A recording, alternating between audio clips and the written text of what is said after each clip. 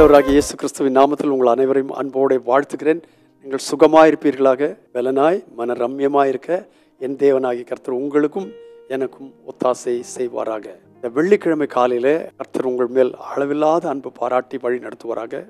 காலை பத்து மணிக்கு சபையில் உபவாச ஜெபம் நடைபெறுகிறது. நடந்து வாருங்கள்.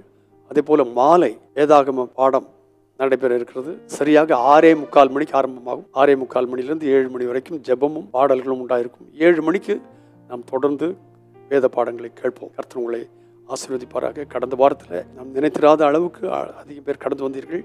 கர்த்தர் உங்களை ஆசீர்வதிப்பாராக.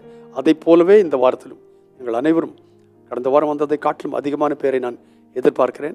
வந்து ஆசீர்வதிக்கப்படுங்கள். தொடர்ந்து இன்றைக்கு ரூத்தின் புஸ்தகத்தில் மூன்றாம் அதிகாரத்தில் ஒரு சில வசனங்களை வாசிக்கிறேன்.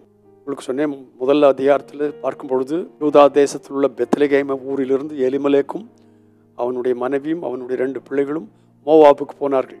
அங்கே மோவாபிலே ரெண்டு பிள்ளைகளை தன்னுடைய பிள்ளைகளுக்கு கல்யாணம் பண்ணி வைத்தார்கள். அந்த இடத்துல போன போது எலிமலேக்கும் அவனுடைய ரெண்டு குமாரரும் மறித்து போனார்கள். நகோம் இப்பொழுது தன்னுடைய சொந்த தேசமாகிய யூதாவுக்கு பெத்லகேமுக்கு கடந்து வருகிறாள். அவள் கடந்து வரும்போது ஓர்பாவை ரெண்டு பேர்கிட்டையும் சொன்னார் நீங்கள் போய் இங்கே இருந்துக்குங்கப்பா என் கூட வந்து கஷ்டப்பட வேண்டாம் ஓர்பால் உடனே போயிட்டா. ஆனால் ரூத் சொன்ன சொன்னாள் நான் உண்மை விட்டு போக மாட்டேன் என்று சொல்லி ரூத்தின் பின்னாலே வந்தாள். அவளுடைய தீர்மானத்தை அன்றைக்கு நம் முதல் நாளில் பார்த்தோம். ரெண்டாம் நாளிலே அவளுடைய தீர்மானத்திற்குரிய ஆசீர்வாதத்தை நாம் பார்த்தோம். என்னவென்று கேட்டால் ஓவாசை கண்டு ஓவாஸ் அவளை குறித்த நல்ல சாட்சி கொடுத்து மாத்திரமல்ல நீ தேவனிடத்தில் அடைக்கலமாய் ஓடி வந்ததான உனக்கு அவராலே பலன் கிடைக்கட்டும் என்று சொல்லி சொன்னாள். இன்றைக்கு மூன்றாம் அதிகாரத்தில் ஒரு பகுதியை நான் வாசிக்கிறேன். பத்தாம் வசனத்தில் ரூத் என்ன செய்கிறாள் என்று கேட்டால் தன்னுடைய மாமியின் ஆலோசனைப்படி ஓவாசின் மேல் உரிமை கொண்டாட முயற்சிக்கிறாள்.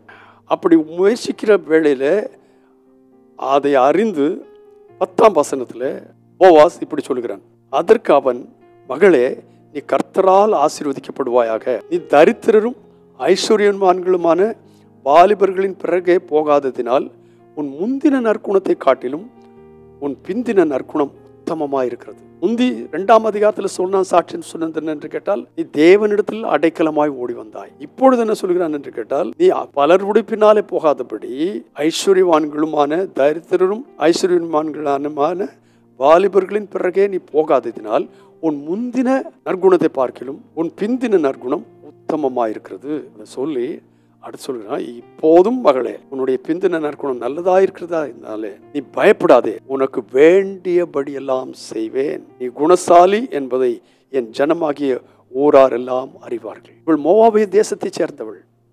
அந்த தேசத்திலிருந்து பெத்தலகேமுக்கு வந்தவள். இப்பொழுது அவளை குறித்த சாட்சி என்ன?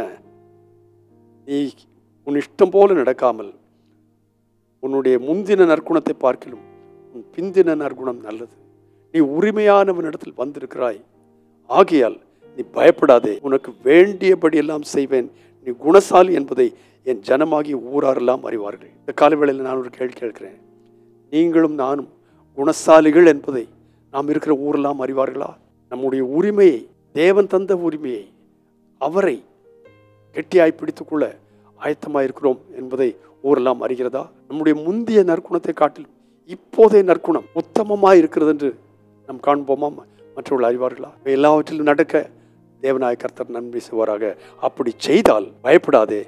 உனக்கு வேண்டியபடியெல்லாம் செய்வேன். உனக்கு வேண்டியபடியெல்லாம் செய்வேன். உடைய கர்த்தர் நம்மை பார்த்து இன்னைக்கு சொல்கிறார். நீ மாத்திரம் முந்தின நற்குணத்தை பார்க்கலும் பிந்தின நற்குணத்தை உடையவளாய்.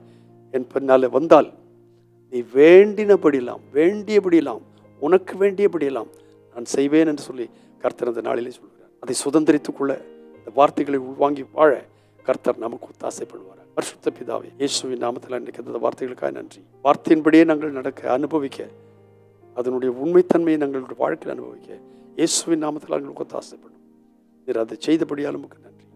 இயேசு கிறிஸ்துவின் நாமத்தில் பிதாவே ஆமேன்.